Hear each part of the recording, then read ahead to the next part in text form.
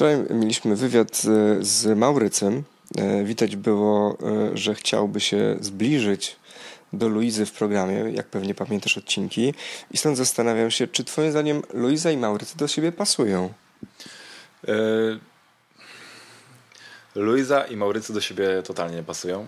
Jakby, sorry Louis, ale no nie, no nie, po prostu jakby, żeby nie wyszło. Ja nie jestem zazdrosny, że ja jestem ziomalem z Louis i tak dalej, my się bardzo lubimy i teraz Maurycy wchodzi i zabiera mi kobietę. Nie, nie, nie, nie, totalnie jakby E, oni mogą, znaczy, no, dla, na moje oni się po prostu dobrze dogadują między sobą jako kumple, przyjaciele, brat siostrą, ale to nic więcej.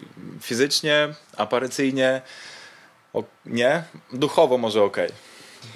Maurycy mówił o Luizie, że jest bardzo ambitna. On też o sobie mówił, że jest ambitny. Myślisz, że to może ich połączyć? Mm, nie. Nie, nie, to jest taki jeden czynnik z wielu, ale nie, raczej nie, raczej to nie to. Siemanko, z tej strony Sebastian Tokarski z Hotelu Paradise edycji trzeciej. Jeżeli Wam się spodobał ten wywiad, to zostawcie łapkę w górę, skomentujcie i zasubskrybujcie kanał przeambitni.pl.